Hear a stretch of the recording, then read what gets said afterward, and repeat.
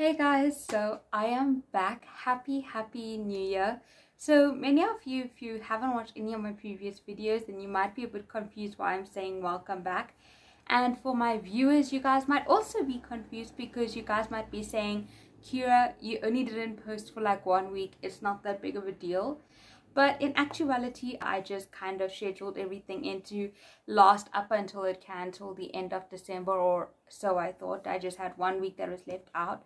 And I actually stopped filming and uploading videos on the 10th of December. So it's almost a month that I've gone without making videos and filming, etc. I have still been active on Instagram, but not so much on YouTube. And this is the first time I ever took such a long break in my whole two years of doing YouTube and I will go into the whole reason for that. But I just really wanted to say, first and foremost, Happy New Year. I hope that this year brings you lots of love and happiness and a lot of peace of mind.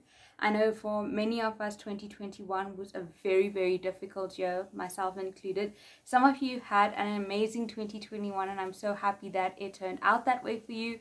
But for some of us, it did not go that way, and I learned so many things along the way and I think that has really shaped me or has shaped what I want to sort of say in this video with regards to New Year's resolutions. So let's first start off with why this whole break and 2021 proved to be a difficult year for me. Besides finishing my degree, which I'm so grateful for and I'm so happy that I did well and you know I passed and I'm actually going to probably go into honors this year, it was still a very difficult year. Besides my academics, a lot of my immediate family felt very ill and our lives had to change overnight. And it's not really something any family wants to go through where there are multiple family members that are not doing well are sick and you know your whole life has to change and obviously your perspectives and priorities change. So that was one thing. And the second thing which is personal and i'm not going to go into detail right now maybe in the future i will once i kind of have more education and I've made improvements on my own about what I'm going to speak about.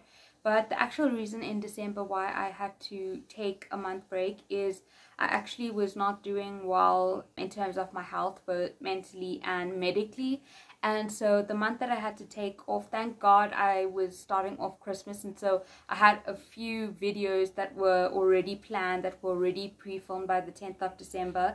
I think I uploaded two like vlogmas vlogs and then i think i had two videos still left over for vlogmas day 8 and 9 or somewhere around there.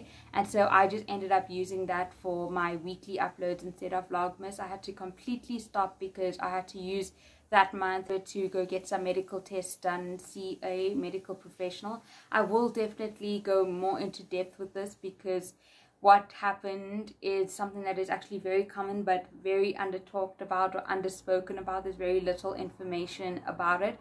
But I do want to probably say that in another video because it deserves its own topic and everything else. That has taken the whole month of December for me to come to terms with, to get the answers that I was looking for, etc.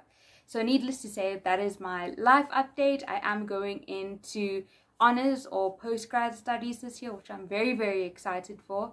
And I will probably let you guys in a little more on that whole journey in maybe a separate video. If you guys want to know how to choose honors or any postgrad or how to apply, let me know down in the comments below. So as you can tell, 2021 was definitely not the best year in terms of the amount of good days that I had, but 2021 definitely was a very pivotal year in my life, I think, because it taught me a lot of lessons.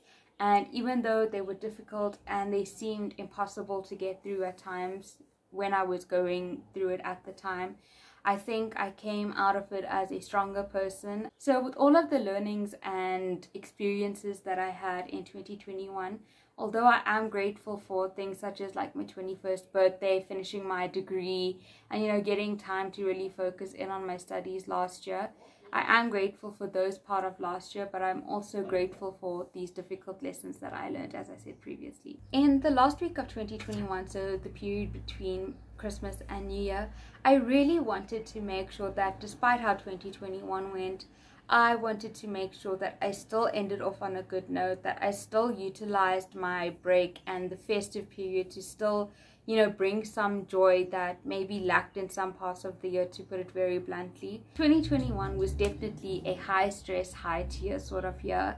But I spent these last few days doing what I love, and it made me feel so stress free and happy for a longer period than just two days. And that was something that I found really hard to achieve in 2021. You know, I'd be great one day and then I'd be off for like a week and a half. And you know, I'm definitely always a positive person, always love to have a smile on my face. And so even if I felt horrible, I just tried to, you know, sometimes fake it till you make it and put out, you know, happiness and things like that. But sometimes that just didn't work. But when I was doing everything that I loved without any, you know, constraints or things to finish at the end of the year, I felt so stress free, so peaceful, and I ended up enjoying that week in the festive period even more than majority of the year. Since it is the beginning of the year, many people are talking about New Year's resolutions, New Year, New Me, New Year, New Gold, and everybody is wanting 2022 to be this goal driven, achievement filled year.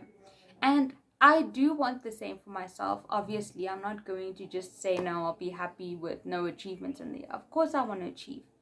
However, my approach to it is completely different than the other years that I have started out the new year.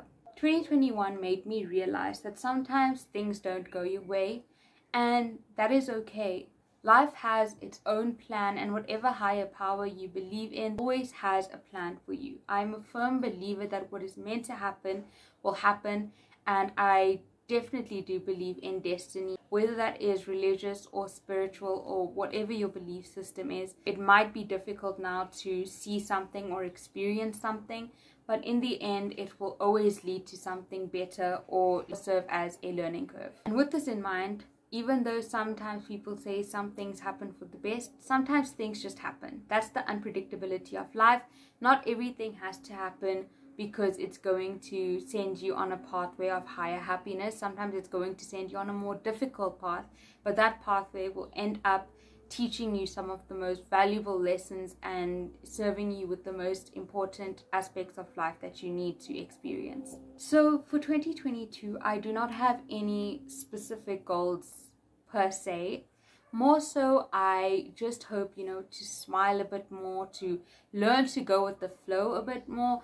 I actually never knew I was a type A personality, and I still don't think I'm fully a type A personality. I think I'm probably like a mixture of type A and B because in certain aspects of my life, I do like planning, I do like things to go according to plan, but in some aspects of my life, I love letting things, you know, free flow, going with just how life takes its course but I want to definitely become a lot more free reigning with my decisions and experiences and not so much trying to control everything that happens to me. Sometimes I will go off track and I will get upset if things don't go a certain way that I would have liked it to go or it doesn't go according to the plan that I had for myself. But I definitely want to become more aware and conscious of identifying when I am faced with something that I cannot control or finding different ways to deal with the stresses that come with all of those things. And that leads to my other part of my, I guess, resolutions, which is to still challenge myself. I've always been a curious person who does not like set ways. I do like routine in some aspects of my life, but I do like challenging myself, whether that is taking a harder subject at university or you know pushing myself out to meet new people or trying out new things whether that be food or like actual like you know experiences.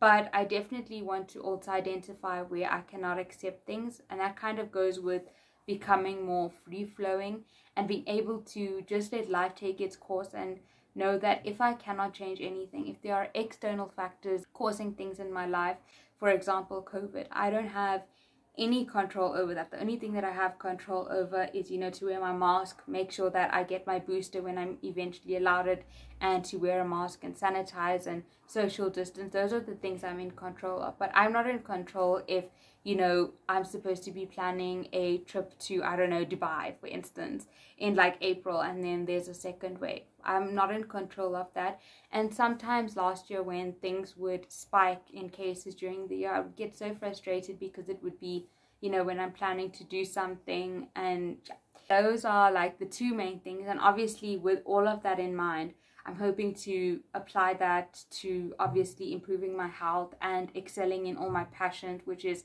my career. I'm very passionate about sustainability and climate change. That's what I'm currently studying in university if you're new to the channel. Also, my dance and music classes, and obviously, you guys, YouTube. I seriously don't know where I would have been last year without having YouTube as a distraction for me from whatever was going on. So I really do still want to keep the focus on YouTube.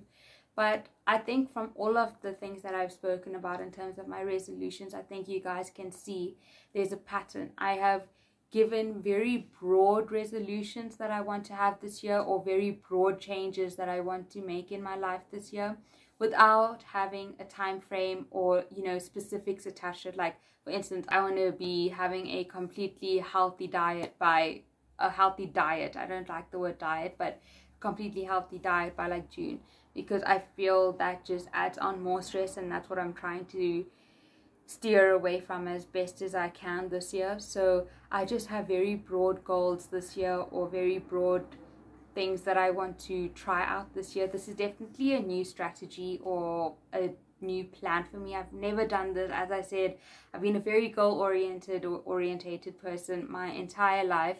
And so having such broad goals, I've never done before, but you know, I'm willing to let this year be a trial run and see, you know, how it goes.